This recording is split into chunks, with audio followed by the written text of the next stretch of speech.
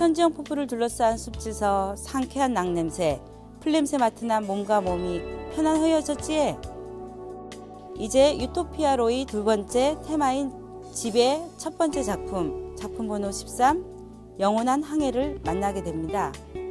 지금은 사라진 포구 자리에 제주 해양 문화의 상징인 목선태우와 서귀포양의 지형을 모티브로 하여 미래로 향해하는 제주인의 의지와 진취성을 담은 작품인데 이 작품 옆에는 서귀포 칠십리 비석도 곧지수다. 서귀포 칠십리라는 말은 조선시대 정의원 씻던 성읍에서 서귀포 진까지 70리 거리를 뜻한다는 설이 있수다. 지금은 서귀포 시민의 모험 속에 살아이신 영원한 이상형을 상징합니다. 밤에는 이디서 새섬을 연결로는 세영교의 멋진 야경도 감상할 수 있으다.